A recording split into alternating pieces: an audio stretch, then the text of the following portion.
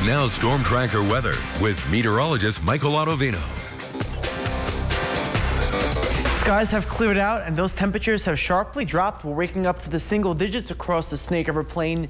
Three degrees right now in Idaho Falls. We're at four in Blackfoot and also in Pocatello. The western half of Wyoming temperature is well below zero. Currently seven below in Jackson, eight below right now in Afton. Definitely bundle up. And wind chills across the region are well below zero, especially across the higher elevations. It feels like 20 degrees below zero in Jackson. It feels like 18 below right now in West Yellowstone. But fortunately, not quite as windy as it was yesterday morning. So across the Snake River Plain, wind speeds calm to a light breeze ranging from 3 to 5 miles per hour. And as we move throughout the day, you can expect a light breeze between about 5 to 10 miles per hour in our area. And talking temperatures over the next couple of days, unfortunately, still continuing to be well below average. For today, most areas across the Snake River Plain will be in the 20s. This, the Pocatello area in American Falls could get a degree above 30, but still very cool out there. Even for tomorrow, most of our area still continuing to be in the 30s. And then it does look like by Friday, fortunately, most of the Snake River Plain temperatures rise into the 40s. Storm tracker satellite and radar again clear for this morning. A few clouds being picked up across the western half of Wyoming, but notice not dealing with any new snow out there. And that's what will stay at least for the next seven days out there. We're expecting dry conditions and today we will see lots of sunshine in the sky with temperatures still continuing to be well below average in the 20s and the 30s.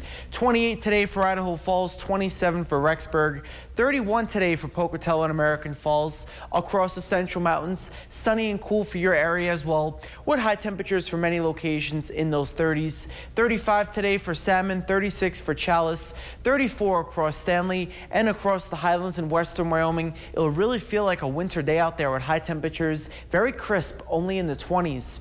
26 today for Jackson, 23 for Afton, Yellowstone, staying in the teens for today. And as we look ahead to tonight, temperatures still continuing to be frigid across most areas, but a slight improvement from last night. Notice for the western half of Wyoming, most locations aren't below zero for tonight. We'll be at one degree in Jackson tonight, zero degrees in Yellowstone, one below across Afton, and for the Snake River Plain, mid to upper single digits. We'll be at six tonight for Blackfoot, nine for Pocatello, five for Idaho Falls, and for the Central Mountains, a few areas will be in those teens for tonight. Your Southeast Idaho Chevy dealer's seven-day forecast leaves us sunny for today, and for tomorrow we have Halloween, and for the trick-or-treaters, it'll be really cool out there in the evening hours. Temperatures will be mainly in those 30s, and look ahead into the weekend We'll be dry, but temperatures will be slightly warmer than what they are now. 48 on Saturday, 50 on Sunday with a partly cloudy sky and temperatures even into next week look like they'll be in the 40s and 50s.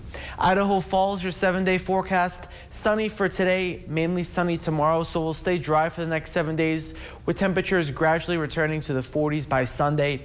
Across the Teton area, Jackson, Afton, and Driggs, sunny for today, partly cloudy for tomorrow, sunny on Friday, and we'll see temperatures again for your area in the 20s and 30s, and then by Sunday, we'll be finally returning to the 40s and across the central mountains, Salmon, Challis, and Mackay. Sunny for today, but more clouds in the sky for Halloween tomorrow.